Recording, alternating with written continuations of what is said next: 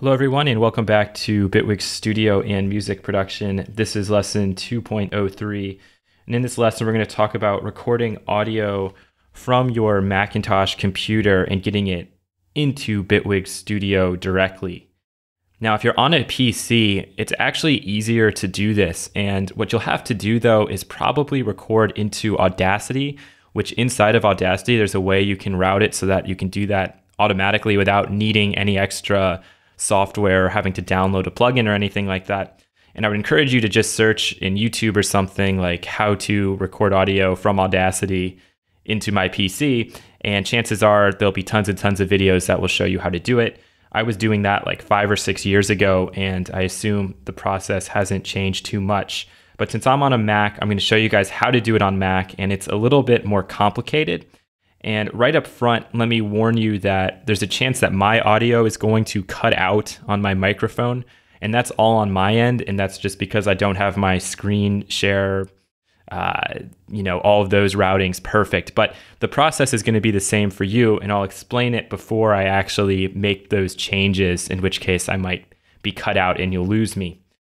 So, why would you want to record audio from your computer into Bitwig? A couple of reasons biggest reason is for resampling purposes. So if there's something on either YouTube or anywhere really on a VLC player or just somewhere on your computer and you want to capture it and bring it in directly, you can do it and then you can resample that, do something creative with it or put it in a song. You hear people do that all the time. You'll hear clips from movies or TV shows and they've sampled that and put it into a track. Um, the other thing is that it's going to record in wave. So it's going to record basically exactly what you're getting from that source. There's a lot of like MP3 YouTube converters. And what that's going to do is it's going to take the audio file that's already been super, super compressed by going into YouTube and it's going to compress that even further. And so you probably don't want that. You want to get as good of quality as you possibly can. Obviously, anything inside of YouTube has already been compressed but at least you're going to be getting um, the WAV file from that compressed version, which is nice and is going to be the best quality you can get. So let's walk through how to do it. First thing you need to do if you're on a Mac is go over to this website, which I will link to in the description, and you need to download Soundflower. Once you do that and you open up the application, which is called Soundflower Bed, you're going to get something like this. And all you have to do from this stage, from this source, from this menu, is adjust it so that your output is going through whatever output you're using. So for right now, we're going to use the duet, but you could just as easily use the built-in output. Now, the next step, and here's where I might be cut off, is you need to make sure you go into your system preferences and change it so that your sound is going both its input and output is through the Soundflower. Okay? And at this point, you're probably going to lose me. So let me just walk through the next stages of what we're going to do so you know. Once I've adjusted my system preferences and have changed my input and output to Soundflower, I'll go into Bitwig Studio here and I'll adjust my preferences.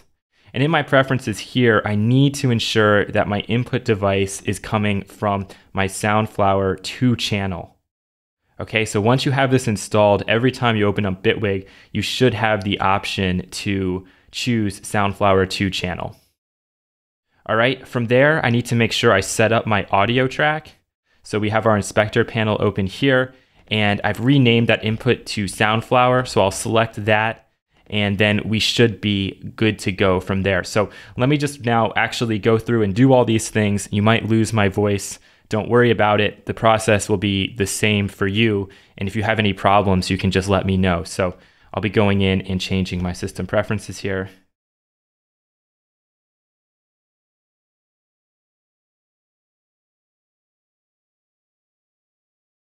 And now I need to look for a video on YouTube or something.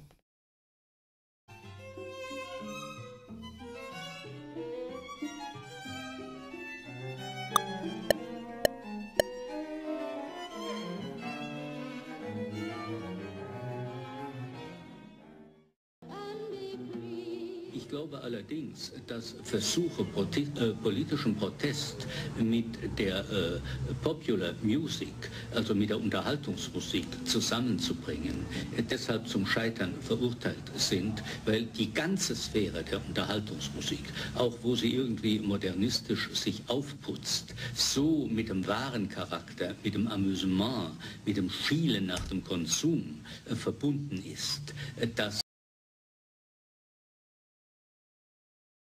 All right, so we've grabbed our audio. Let me just go back and change my system preferences.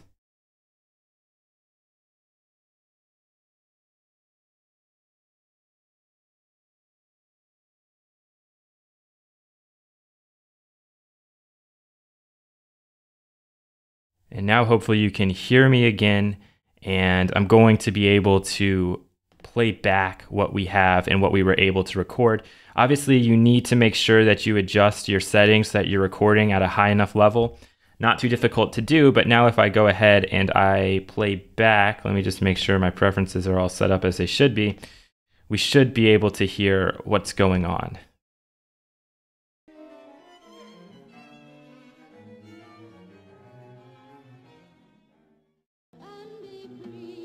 Glaube allerdings, dass Versuche äh, politischen Protest mit der äh, Popular Music, also mit der Unterhaltungsmusik. All right, so that's basically all there is to it. And now we have that inside of Bitwig and we can adjust and we can edit and do whatever it is we want to do to the file. Just be sure that when you are recording in that you try to get your levels good beforehand. Obviously, I didn't do that in this case, but this wasn't a real type situation where I was trying to resample the audio. And I hope that was helpful to you guys. If you have any questions, uh, please let me know. It is pretty important to follow those steps. Um, otherwise, you probably won't get the audio into the program. So, again, thank you for watching, and I will catch you in the next lesson.